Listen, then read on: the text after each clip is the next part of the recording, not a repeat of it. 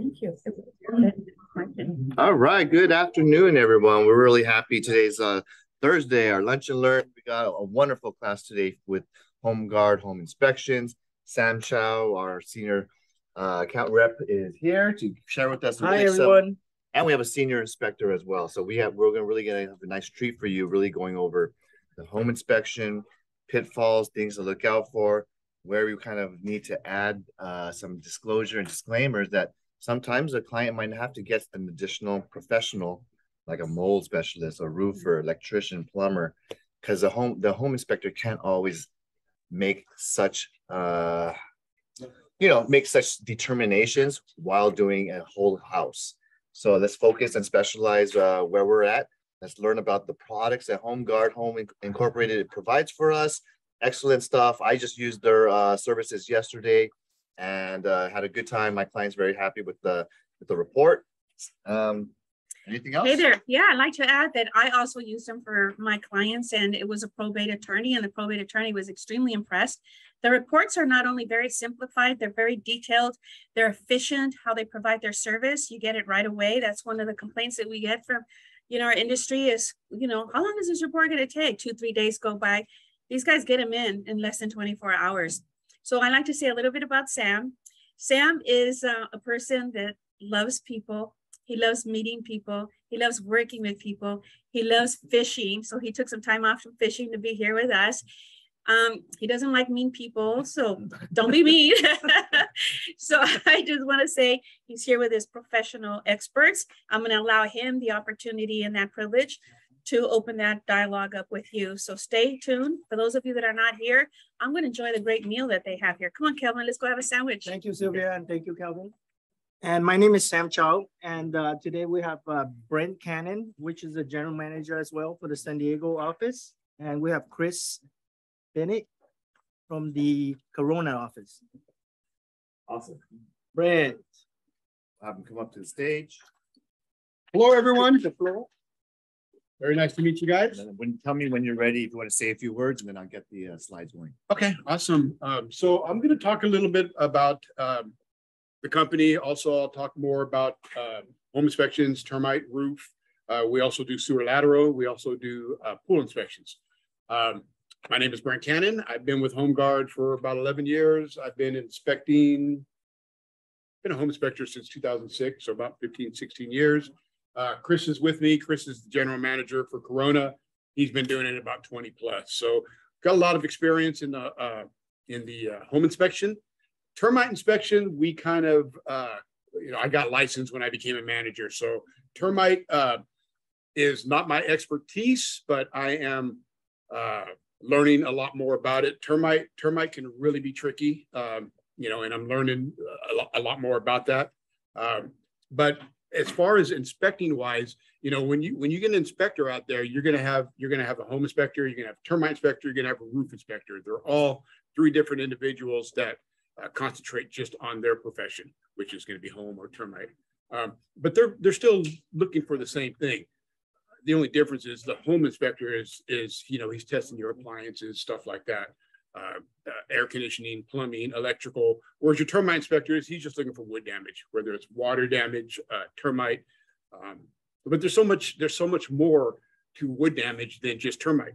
Um, beetles do a lot of damage to wood. There's there's bees, there's ants. Uh, each each one of those types of damage requires a different type of solution. So if we mistakenly identify uh, what we think is termite, and it ends up being uh, beetles. The chemicals that we use to kill uh, termite will not kill uh, beetles. It requires a lot more type of chemicals. So again, it's very important for our inspectors to, to be able to identify uh, correctly what they're looking at.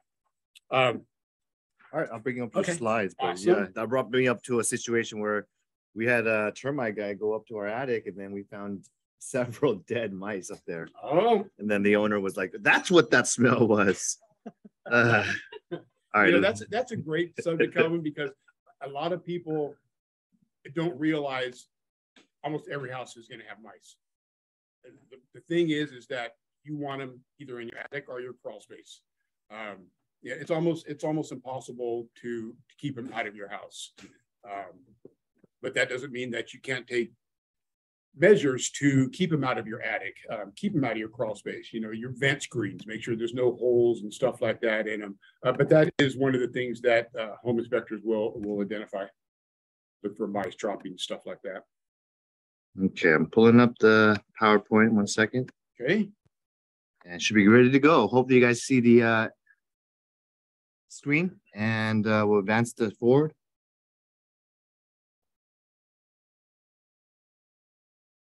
Perfect.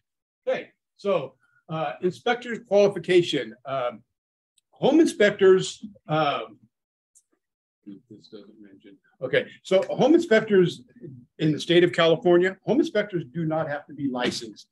Termite inspectors, roof inspectors, they have to be licensed, at least in the state of California. Home inspectors, you can have anybody that takes a 10 minute course on, on home repairs and become a home inspector. Um, it's not very difficult. What we see a lot is uh, uh, retired general contractors or somebody that used to be a cement contractor. The work's just too hard for them. They're getting a little bit older. They want to try to be able to, you know, take the pressure off their back. So they become home inspectors.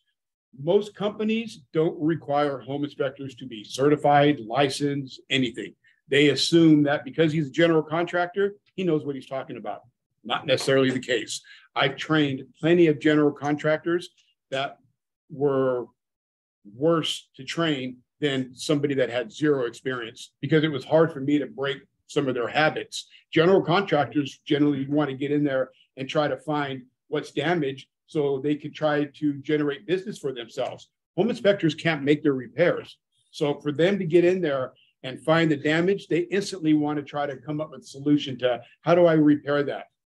You don't want to you don't want to repair it because in the state of California, home inspectors are not allowed to make repairs.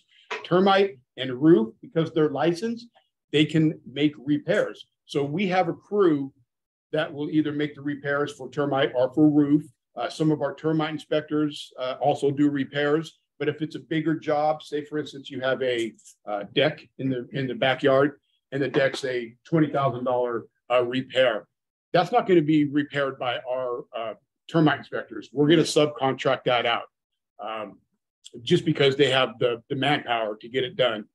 Um, home inspectors, like I say, home inspectors can't make repairs. So what you're going to see in our report is it's going to tell you either how to fix it or who to contact to fix, fix it. So in other words, let's say I go to test your air conditioning, turn on your thermostat, do what I'm supposed to do to get your air conditioning to turn on, and it never comes on.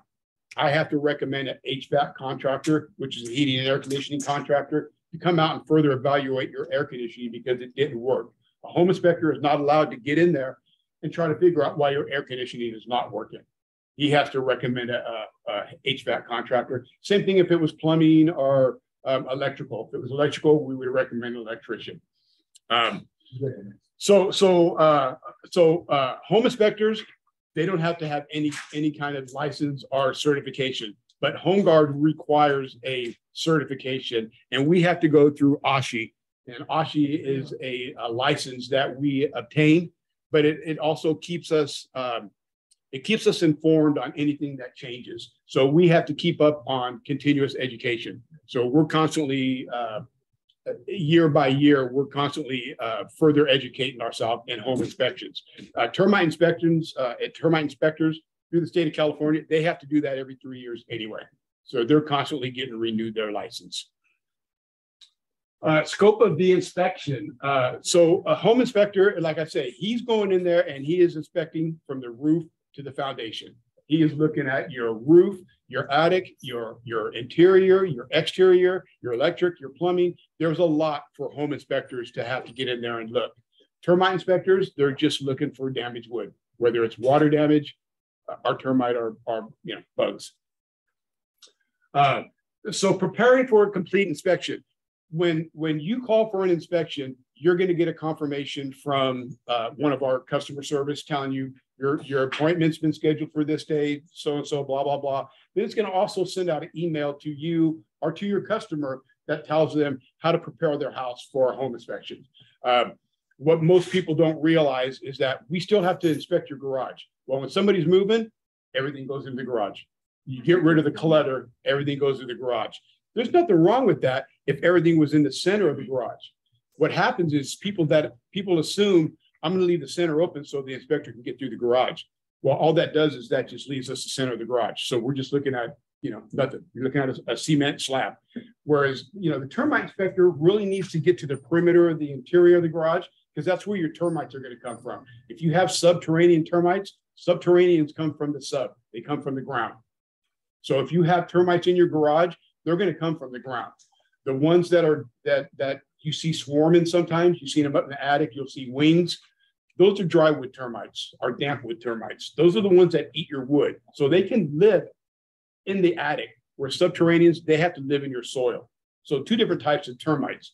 Uh, but again, they're still doing damage. So it has to be identified by, you know, the termite inspector. Um, so being able to, to thoroughly get in there and inspect your home, you know, the garage needs to be cleared out. Uh, the dogs need to be put away. You know, we have some inspectors that are just horrified of dogs. so they walk in, they see a poodle, that dog needs to be put away. Pit bull, that dog needs to be put away. So they'll get that email. Your customer will get the email and it'll tell them, you know, exactly what to try to do to prepare their house. If you've lived in a house like when I sold mine, you know, if you've been there for 20 years, you're not going to get rid of all the clutter. We we get that. There's times where we have to call a further inspection. Uh, did a house not too long ago, walked into uh, a lady's craft room, couldn't even get in the room, you know, between her sewing machine and all her crafts and stuff, couldn't even get in the room. Opened the door and said, Oh, okay. So I had to take a picture and let her know once everything is kind of moved out or towards the center of the room, we'll come back for free and, and look at that that For room free? for free. We don't charge to come back and further inspect because 9.910 out out of 10 times, it's not your customer's fault. It's not our fault. It's definitely not your fault. So something like that, we come back for free. It's usually, if anything, it's more of an inconvenience, you know, because you're having to set up an appointment. Somebody's got to be there to let us in. So um, if you can avoid the further inspections, it just makes it easier for everybody. But again, there's times where you just can't avoid it. May I ask you a question? Of course. So at one property that we had, um, home inspector, we did not know that the attic access was through the pantry. And what they did was they boarded it. So. So you weren't able to, to No, actually and get the in it. home is vacant. Okay. So who would have to unboard that? So that's a great question. Mhm. It's going to be anybody but us. Because we're not allowed to get in there and like get a hammer and, and start, you know, try to open it because if we damage it or, or break the opening, Yeah. now we're reliable for it. So you can either have a handyman, uh, general contractor. Sometimes we'll have agents that show up and they're like, hey, I just came from the gym and they're in their gym clothes. They'll get in there and start working on stuff. You guys can do that. Yeah. We just can't. Yeah. Yeah. So if it's something simple like that, I've had exterior access to the crawl space that's on the outside and had some storage in front of it. We're not supposed to move storage, but it was a couple of paint cans Sure, sure. Yeah, stuff like that, we could, we can move, you know, you just have to be careful because if you're moving something and you break it, we're responsible. Right. And I think in our standpoint, with our agency, I think it's perfectly fine if they move paint cans and things like that. For But I don't think we would recommend our agents to pull out a hammer and start doing some carpet work Yeah, because then that creates other, you know, Yep. issues. it, it does. Yeah. It does. Yeah. We, we, we, like I say, we try to uh, avoid the further inspections, but there's just sometimes where you can't. Sure, but for you to come out for free, uh, Yes. that's unheard of. Yeah. Yep. Because like I say, it's nobody's fault. Yeah. Yep. Kevin mentioned it yesterday. So he said that the garage was full, exactly like you said. Yes. Yeah. And He he did mention. he Yeah. said, If you guys need us to come back. come back." Yeah, and there's times where, um, you know, we always use the garage because it's a great example. There, that's where everything goes. But there's times as, as a home inspector, if we can get to your sub panel, your water heater, sometimes your furnace is in the garage. There's times where a home inspector may not call a further inspection because he was able to move around things and kind of get to everything. But if a termite inspector is not able to see one hundred percent of that ground, mm-hmm. he's gonna call for further inspection. Because all it takes is one, one little pellet from a termite to be missed, and you could have termites there. Now, Brent, there's also situations where we absolutely do not have access, period. Correct. Example, a home in Maywood, the access to get into the crawl space on the bottom the gas meter was right in front of the window of that opening. Yes, And it doesn't matter how tiny you are and Yep. how ergonomically you can that's right. move yourself around, You ain't getting it. you're not getting. It. Yeah. And even if you did, now you're taking the chances of squeezing between a gas meter. That gas meter's got a gas pipe that goes into your house, you know, and you're Yeah. trying to squeeze through there. And it's happened before, you know. I've done a crawl space. There was duct work. I tried to get underneath the duct work because the agent was like, please don't call for further inspection. I know it's tight in there. So I tried everything I could. And as I was going underneath the duct work, I got stuck. And I said, I will never do that again. I don't care Oh how nice the agent asked me, you know, because I started to get freaked out. I didn't think I was going to be able to get out of there. Now you somebody's gonna, yeah, now somebody's gonna, uh, I just kept going and it ended up disconnecting the duct and I had to turn around and Oh put it back God. on there. Yeah, it was a pain. Yeah. Next time I will- Next time I would further inspect or lose weight, one of the two. Uh, uh, limited liability, we have, uh, uh, errors and omission were ten million. So, you know, we, we cover everything. We're good to go. Um, Okay, so ASHI certified, um, I'm not gonna get into a whole lot of detail about our ASHI. Um, you know, we have, we have, all of our inspectors have to be ASHI certified. And there's a certain list that we have to go by to be ASHI certified. So once we get certified, we still have standards of practice, code of ethic, ethics that we do. We have to live by their, their standards. And it's just a way of keeping track of, of everybody, making sure that we're all kind of on the same page. You don't have one guy that inspects one way and another guy that inspects another. Because you'll see that a lot where somebody will have a home inspection. And then after we do our home inspection, they'll come back and say, you know, I already had a home inspection done last month and there's differences between your inspection and, and, and his. The, the, reason is, is because you don't have to be certified. So this guy can call anything that he feels is right or wrong, and then this guy can do the same thing. Whereas a termite inspector, they're regulated through the state. So they have to call the exact same thing. If they don't, somebody's wrong. In a home inspection, it doesn't necessarily mean that somebody's wrong. It just means that that was somebody's opinion. You know, we've seen plenty of foundation cracks, and we know by by the the expertise of, of foundation uh, specialists that we have dealt with, we know the difference between a foundation crack and foundation movement. Okay, any foundation is going to have a crack just like your driveway. If your cement is poured in a in a certain temperature, they crack. It's going to crack. That doesn't mean that there's anything wrong with that cement. If you see the same crack in your driveway as opposed to the foundation, the minute you mention that crack in the foundation, people freak out. Yeah. Because your house is sitting on that foundation, even though it's the exact same crack that you have in your driveway. Typical cracks are typical cracks. You're going to have them. But again, it's it's our home inspectors that need to know the difference between a typical crack and a minor, major, or moderate crack. If you have a major crack, that means your house is probably still shifting. If it's a moderate crack, that means it's bigger than typical, but it could be 20 years old. You know, so it's up to the home inspector to be able to give you the right information. And if it's missed, we cover it. So if something gets missed because maybe the inspector just felt like it wasn't a huge deal and come to find out it was, we're going to cover it.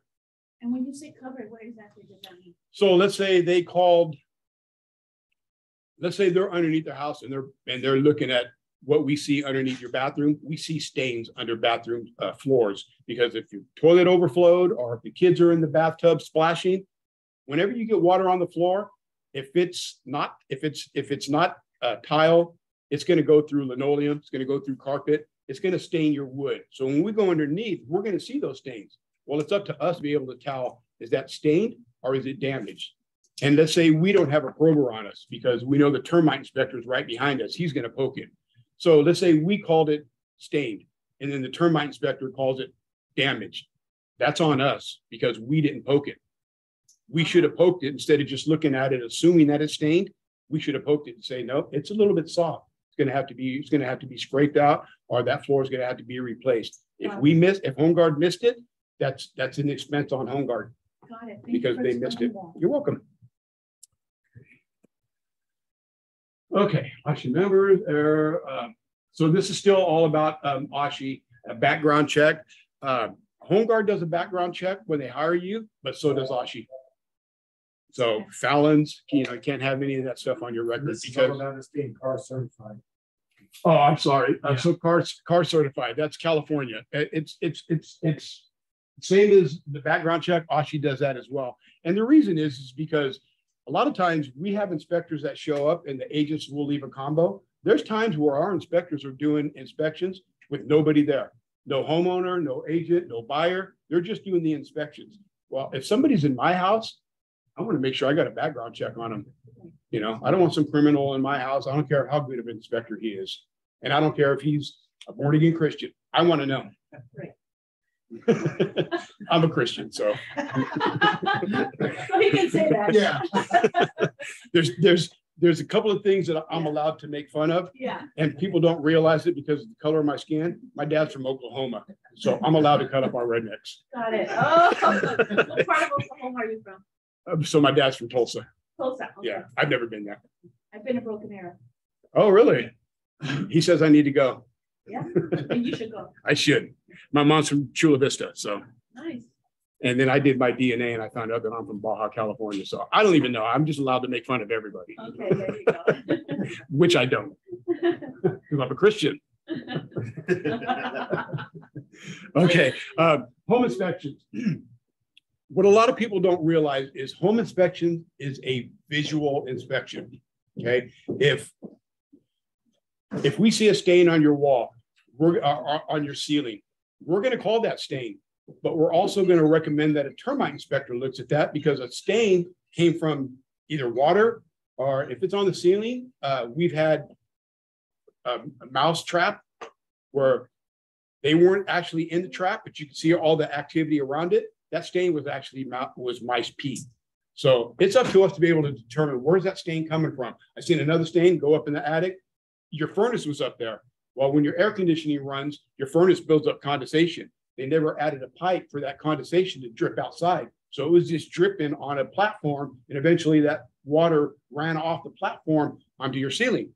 So, you know, we see a water stain, we're like, okay, it's a two-story house, so we know it's not coming from rain, and there's no bathroom above you. Where is that water coming from? So once we get up in the attic and seen the, the, the uh, furnace, we knew where the water was coming from. But if we didn't get up in the attic, or let's say you didn't have an attic access, like the one that was in the pantry, the termite inspector is going to recommend cutting that water stain open just to see if he can determine where that water is coming from, or if there's anything beyond the, the drywall, if anything got damaged. Because if you got water stain, it's, it's possible that it damaged the wood and not just the, uh, the drywall. Okay, but again, as far as a home inspection, it's just a visual inspection. Um, safety hazards. I, I always like to use elect, uh, uh, the electrical section as far as safety hazards. If I have an outlet that's missing the outlet cover, that's a two dollar outlet cover. We feel really stupid telling you that you have a missing outlet cover until a child goes over there and sticks a fork or a knife or something because there's no cover there. Now we don't feel stupid. Now we feel stupid for not telling you because that child probably just got hurt. He got shocked. So um, safety, as far as safety, like I say, I like to use um, electric as an example because even though that uh, outlet cover requires one screw to put that thing back on, sometimes you're like, why don't you just put the outlet cover back on instead of putting in your report? Well, I may not have that outlet cover and we're not allowed to do that. But if the agent's standing right there and I see the outlet cover, I would ask the agent to do that just because of a safety issue. So when it comes to electric, we don't, we don't say, uh, you know what, that's not really that big of a deal. When it comes to electric, there's no minor or major. It's all major. Because you're, you know, you're talking sparks, you're talking shock, you're talking fire, you know, whereas if you had like a drippy faucet or a drippy drain and the drain is dripping to the wood shelf underneath your sink. I mean, if we don't catch that, it's going to continue to damage that wood shelf. Okay, so then I have to come back and replace your wood shelf because I didn't catch it. But at least we know nobody's going to die because I didn't catch that drain. Whereas electric, like I say, there's no minor. It's all, it's all, it's all safety as far as electric. But again, that is, that is why you, you hire an inspector. You want to be able, you want to be able to feel comfortable that what your inspector is telling you is either safety or it's not.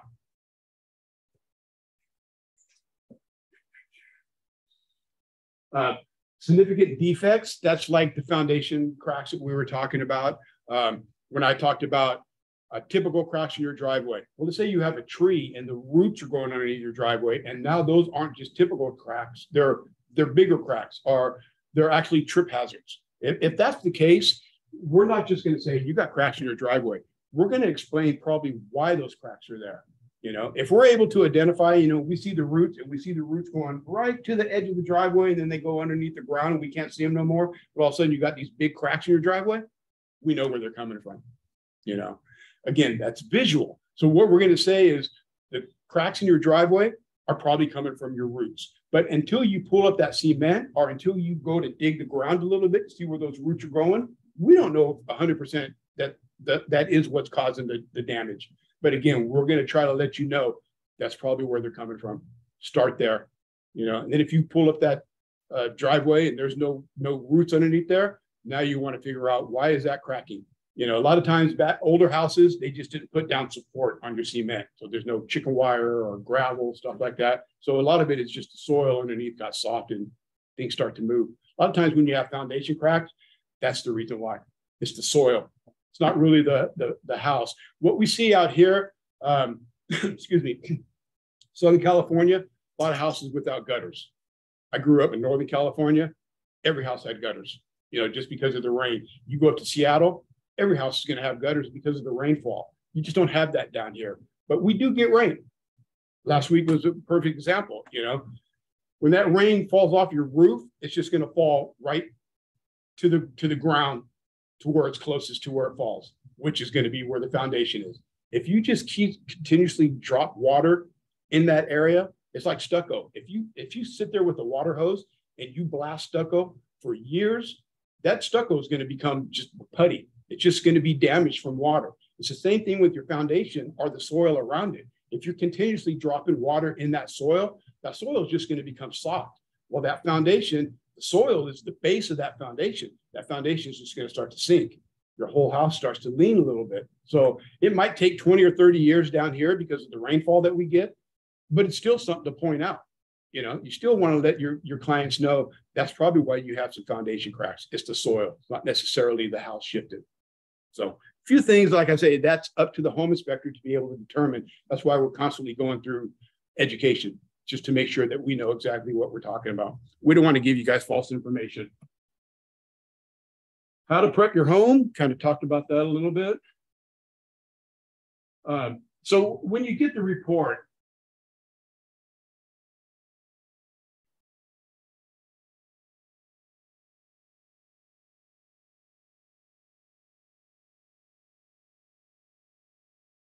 Okay.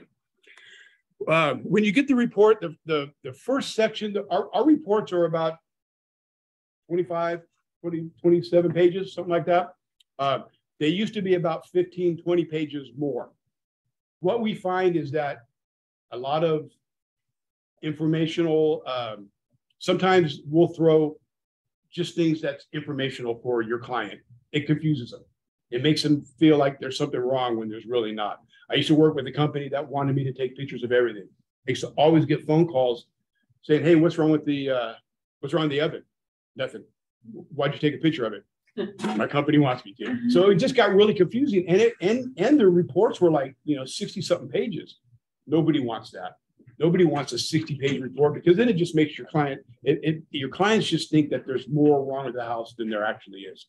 When they get the report, the first part of the report is what we call immediate action. That is, uh, it's, just, it's where we include all of our pictures. Um, what a lot of people don't realize is that we might have more than one picture. So say for instance, if you have damaged rafters around your roof, let's say you have five damaged rafters from water. We're not going to take five pictures. We're going to take one picture, put it in your roof, or put it in the uh, report, but we might take some more pictures that come at the end of the report.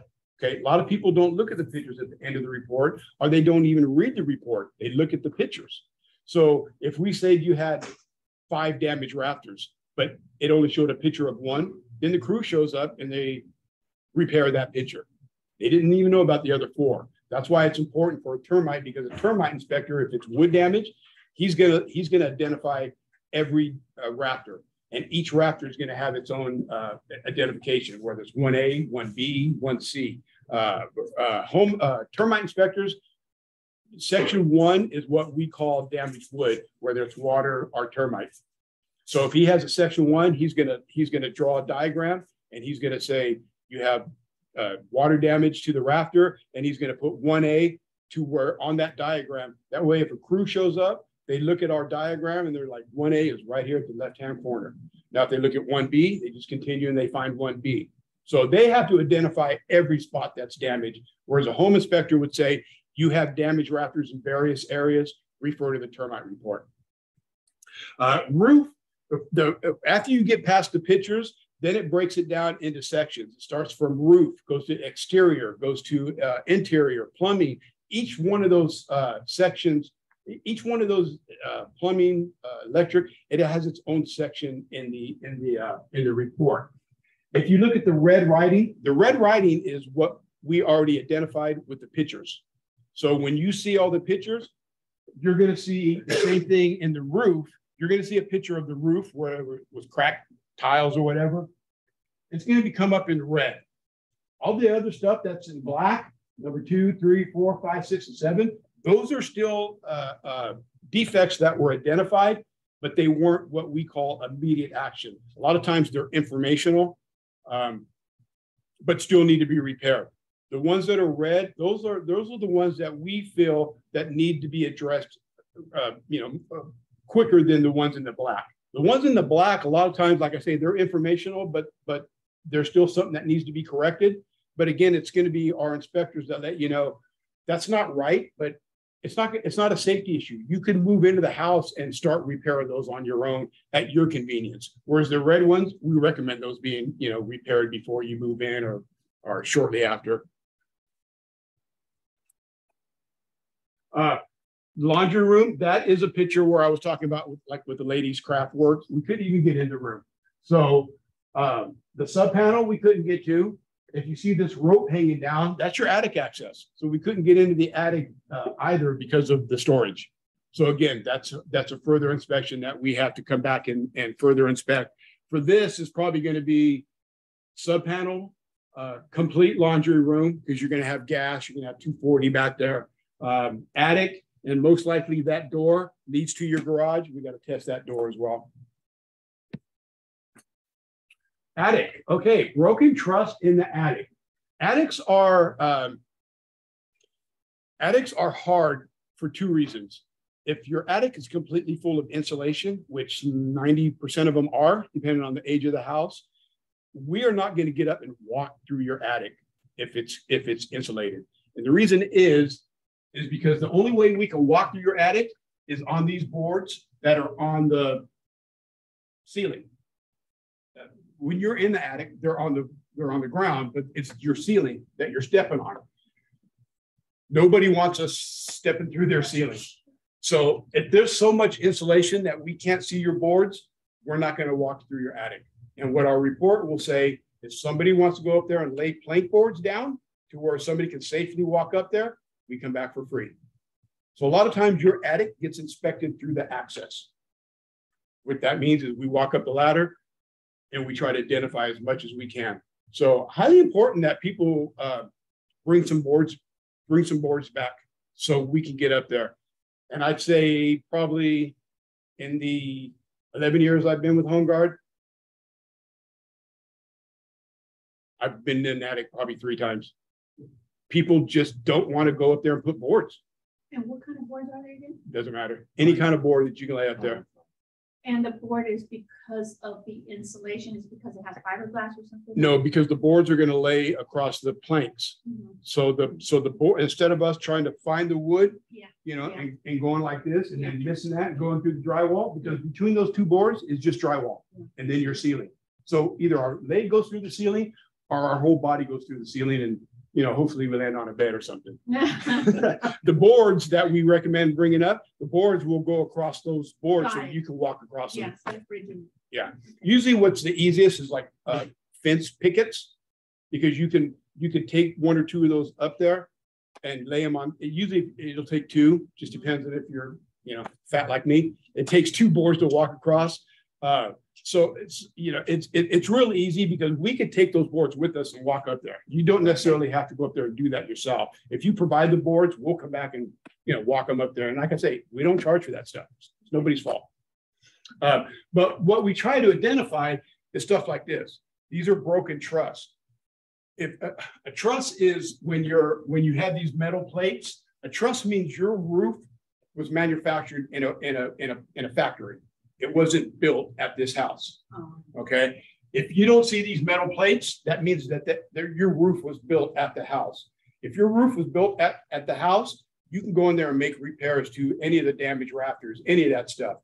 If it's a truss, it has to be repaired by a truss engineer.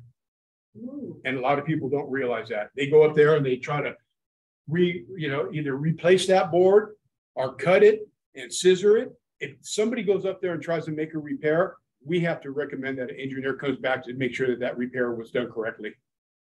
Because like I say, this was manufactured in a, in a factory.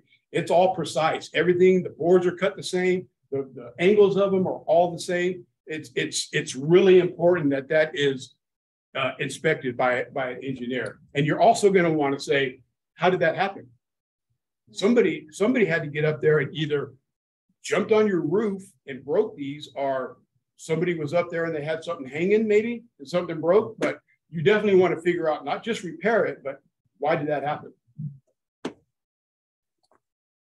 Because a lot of times you can repair something, but if you don't know the source of the damage or, or how it happened or why it happened, you can make a repair and, and you know, a month later that, that damage is back there again, for sure. Um, that's just more storage in the garage. I think they get the point. Electric, okay. Um,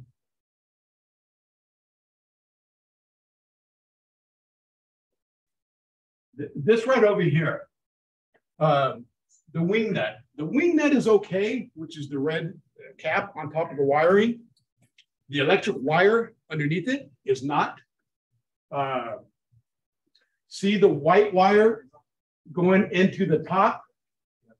That's a neutral wire. Your neutral wire is going into the main wire coming from the city. So that's 240 wire. Um, the two wires that are coming into the top screw, that's 110 and 110. That's how you get 220. Okay. Right now you got the you got the neutral going into the live wire that totally defects your neutral system. So neutral system, the reason for your neutral and your ground is if those wires get wet, are overpowered, the neutral and the ground system is what trips off your breaker so you don't get shocked. When you have stuff like this, it may not necessarily shut off your breaker because it's not wired correctly. Okay. Also, when you have two wires going into one screw, you have a hole. You have two wires going into one screw. When you tighten that screw down, one of those wires is going to get good and snug. One of them is not. Loose wires like that is how you get sparks. This right here, you probably won't get sparks because it's neutral going into live. There's no energy to the neutral, so it's not going to create sparks. But we see live wires going into live wires. See it all the time. It's called double load. You can only have one wire going into one screw. These breakers, these breakers down here, they make a, a double lug breaker. So you could actually have two wires going into one breaker, but it's a different type of screw. It's not one screw that you're tightening down. It's two different screws. It's got a plate on it. When you tighten it down, it tightens together. So if you have two screws in there, it's going to tighten them together and they won't overlap. So they do make stuff for this. It's just nine out of 10 times people don't want to go to the Home Depot and, and buy a lug or a breaker. So they just do something that's, And that red cap is called a lug nut, no, just a lug, just a lug. just a lug. Yep. It's called double lug or double tap. Okay. Okay.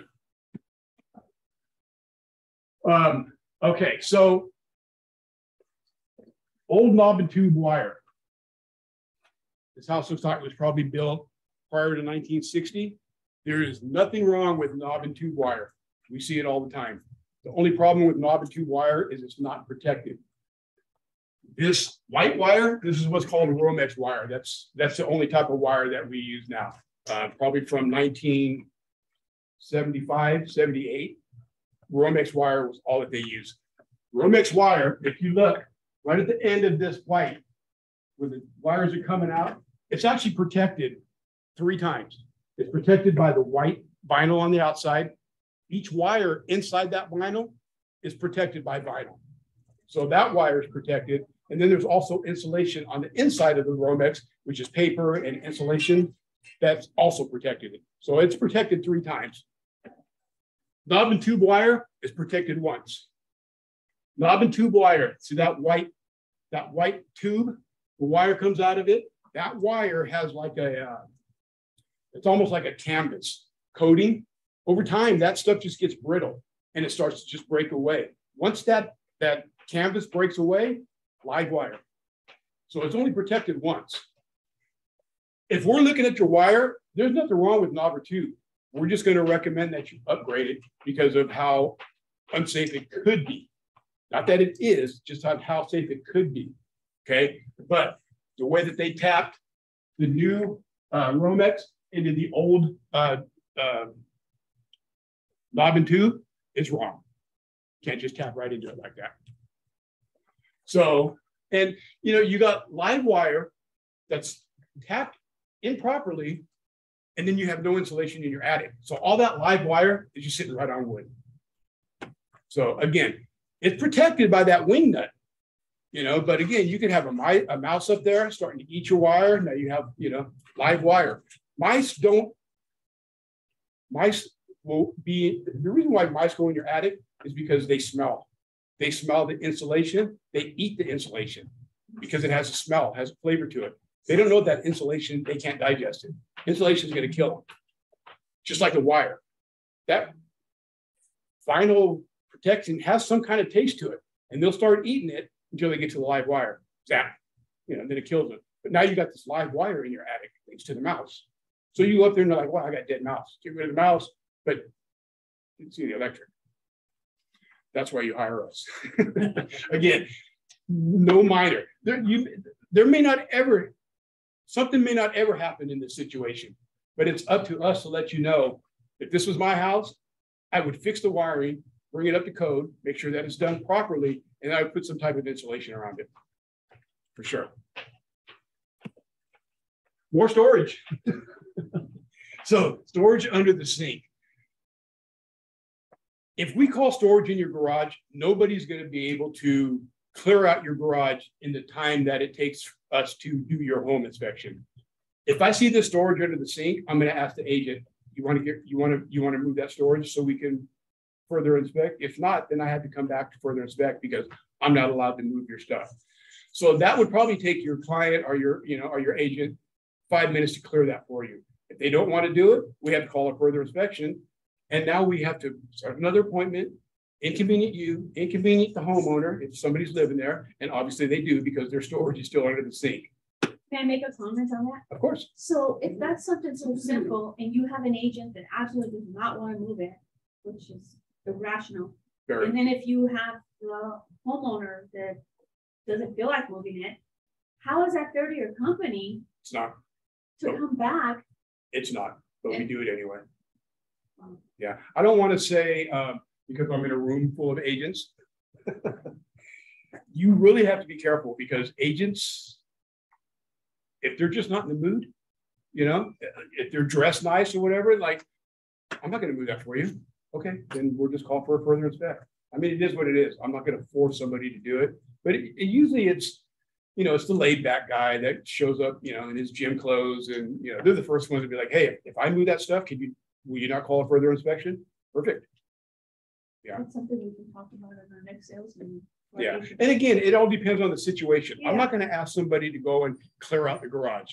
Because number one, that's a lot of work. And number two, they're not gonna have that done by the time we're done with our inspection. Right. And we're not gonna sit there and wait because we probably have another inspection It's to get to. But know, something so simple like that, or like, like the, the paint cans that I was talking about, Right, that's a true story. That's a Right. real story. One of my inspectors called further inspect because he couldn't get in the crawl space because of storage. And when I seen the picture, it was two five gallon uh paint cans.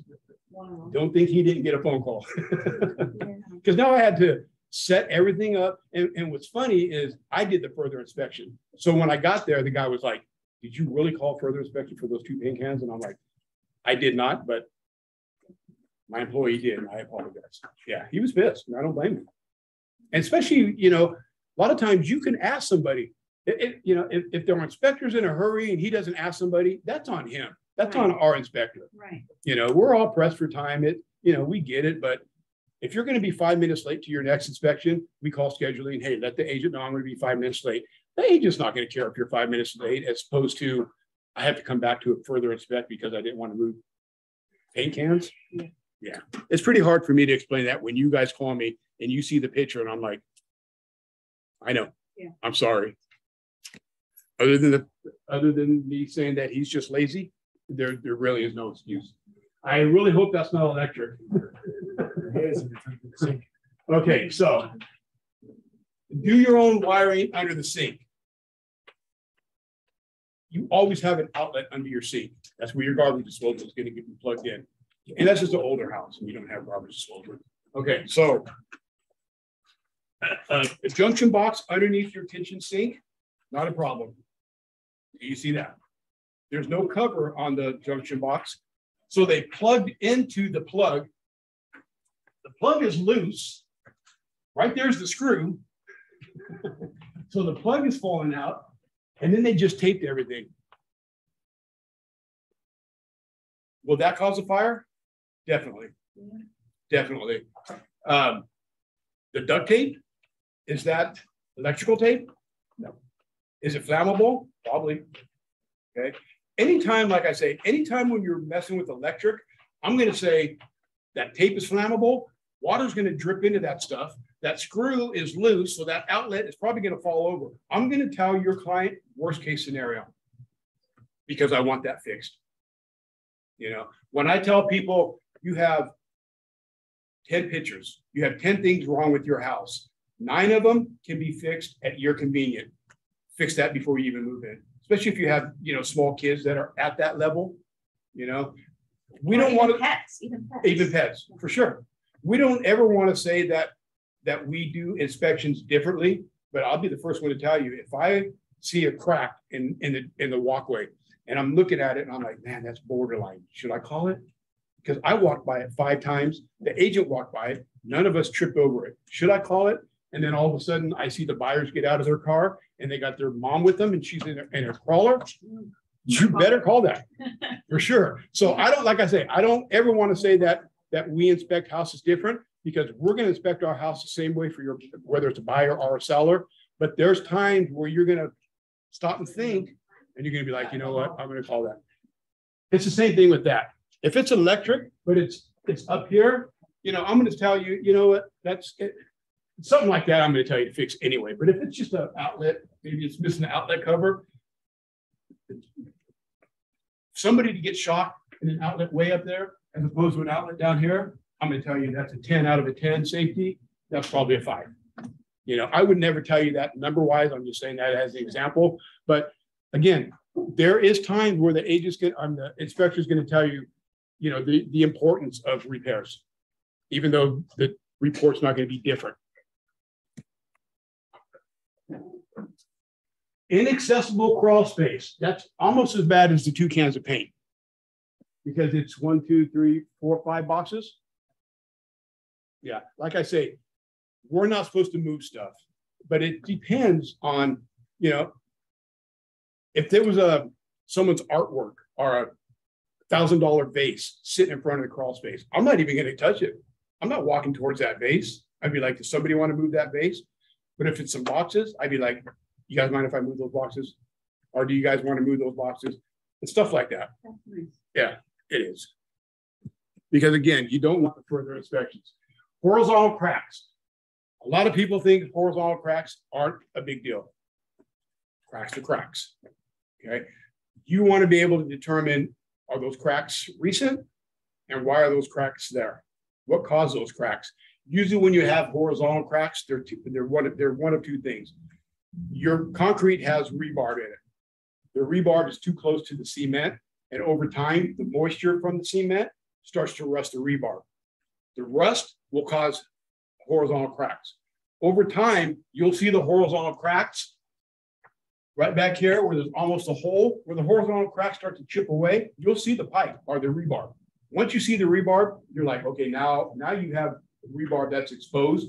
Once it's exposed, it'll just continuously da- damage, uh, uh, cause more cracks and get worse because of the rust. Those can be patched. All you're doing is just patching cement to, to try to prevent more moisture to the rebar. Okay. That's if you're determining that's from the rebar. If you don't see rebar, those cracks are probably coming from the soil on the outside. A lot of time it's the soil that's pushing so hard, they cause cracks. So it's up to the, uh, you know, if we go outside and let's say your house is just as level as your sidewalk right here, and you have a sidewalk or a walkway or something, well, we know there's nothing pushing on that foundation. Okay, but if you got this big hill over here, or you got a foundation wall, and there's a hill on the other side of it, maybe that foundation wall was built after they seen the cracks. So they removed part of that hill, built a foundation, took the pressure off your. Uh, but again, once you see that, once you see cracks like that, we're going to recommend a foundation specialist. We're going to recommend either a civil engineer or a foundation specialist because he's the one that's going to determine is it rebar or is it pressure from the exterior? Brent, is that um, a structural engineer as well? Yes. Okay. Yep. So it's civil engineer and who else? Structural, uh, soil engineer. Yes. When, when you see horizontal cracks, I'm sorry, vertical cracks. Vertical cracks come from either the way it was poured or from movement. It's either movement from your house or movement in your soil. Up north, where I did a lot of my uh, uh, uh, training, a lot of my houses were in Hayward. Hayward has that, the, the, the, uh, thank you. Yeah, so we see cracks in almost every house if it's a crawl space. Uh, uh, So many in, in, in the Hayward area. It's because of earthquakes. But again, that doesn't necessarily mean there's anything wrong with your house. That just means your house shifted at one time during an earthquake. You know, Northern California, you really have to, uh, you really have to keep an eye on certain things like that because they get, you know, they get a lot more uh, earthquakes than, you know, say Louisiana. You know, uh, our ASHI certification, it allows us to be home inspectors nationwide. ASHI is a nation, is a nation certification. So when we're doing our education, we could be doing, we could be doing uh, uh, training on weight of a roof because of snow. I'm never gonna see snow here, but ASHI doesn't know that I'm an inspector in Southern California instead of uh, Montana. You know, so we still have to keep up on that stuff, even though we may not ever use it, like math. Okay, this is under, I think, this is your tub. So the drain from your tub came disconnected. We go underneath your house and you have a leak underneath that. That's where it's coming from. Okay, when we go into your house, if you have a, this could smell just because of the hair and stuff that comes in your drain. Anything that goes in a drain could start to smell over time, even if it's not sewer because of hair, dirt. Um, you know, I just had to repair my kitchen drain. The smell was so bad. But you know, I just bought my condo about three years ago. I probably repaired somebody's clog from you know 20 years ago. But the smell was so bad just from from the garbage disposal. You know, most people don't realize garbage disposal, worst invention ever made. because people assume that they can throw anything in their sink. Mm-hmm. Ask my kids. Cup of sunflower seeds in the sink, mm-hmm. you know, and the garbage disposal is only going to chew up so much. And then once you throw it down the drain, that all that that junk is going in your drain. It's it's going to be in your pipes over time. So this came disconnected. If we open up your crawl space and first thing we mm-hmm. smell is sewer, we're going to recommend somebody get underneath there because you probably have a sewer leak, which is coming from your toilet. This is different because it's not actual sewer water, but it is dirty water. You can still get hepatitis C from dirty water. Um, and, and, it, and it's such an easy fix. It's just the, the pipe just came loose, just fell down. But if they wouldn't have had us come out to inspect it, would have just continued, just, just, I mean, it was a lake underneath there. Make sure we got all that, home inspection recap. Yeah, uh, what you have to realize is you have to t- let people know that their home inspection is a visual inspection. People will always want me to say, hey, can you put that in your report? What's wrong with it? Well, nothing now, but in a year or two, it's gonna do this. I'm not Nostradamus. I can't predict the future. I can't put stuff in my report, even though my opinion might say, you're, you're, you're right. I know exactly what that's gonna do, but I can't say for sure that in a year from now, that's, that's what's gonna happen. So home inspectors cannot put that in your report. They can't say that hill over there, if you don't build a retaining wall on the side of your house, that hill is gonna end up in your front yard. It probably will. You know, just depends on how much rain you get, depends on the angle of that hill, you know, but again, we would never put that in our report because visually, at the time of the inspection, there's nothing wrong with that hill. That is it. So I know I probably touched more. Um, I didn't realize I was doing more of a home inspection. Um, But if you guys, you know, if you guys want us to come back, do a termite, you know, let Sammy know. We'll come back and just, just talk about termite and, you know, uh, termite could be, termite could be, uh, you know, the conversation on that can get really tricky because you're talking repairs, you know, uh, you're talking, uh, you have to have, you have to have authorization, you know, if you, if you're, if you're making repairs on a home that's, that's, that's occupied, you have to have, you know, authorization from the homeowners. Um, there's a lot when it comes to termite.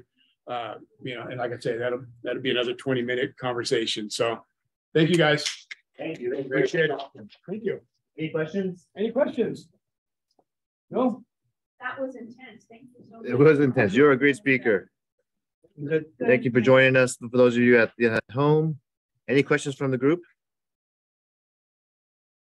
All right, well, thanks, Michelle, Laura, Jean, for joining us. Appreciate it, buddy. Okay, thank you guys. Um, I didn't rent. I have that problem in my home. I What's didn't know that I have a problem, but I'm.